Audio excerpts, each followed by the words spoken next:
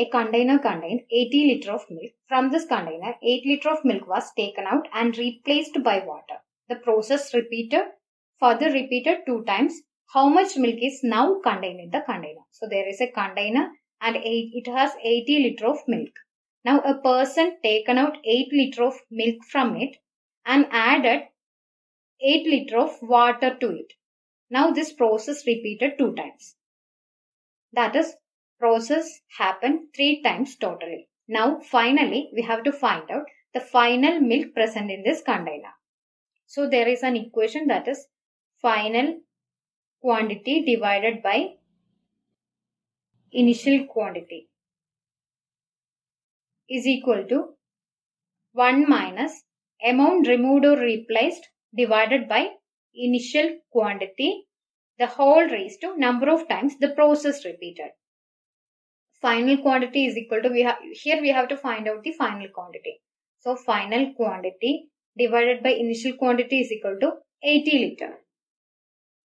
That is equal to 1 minus amount removed or replaced here 8 liter of uh, milk taken out and 8 liter of water added. So 8 liter is the amount removed or replaced. Divided by initial quantity is equal to 80 and number of process is equal to 2 plus 1 3 because a process happen and it is repeated two times. That is 1 plus 2 3 here final quantity will become 80 into 1 minus 8 8 by 80 is equal to 80 minus 8 by 80 that is 72 by 80 whole cube. That will become 80 into 8 nines are 72. That is 9 cube by 10 cube. That is 729 divided by 1000. So here 0 0 cancel. 8 into 9 72. 7 remainder. 8 into 2 16. 16 plus 7 is equal to 23.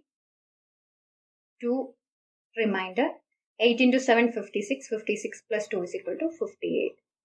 So here 100 is divided by 100 means 58.32. So 58.32 liter option B is your answer.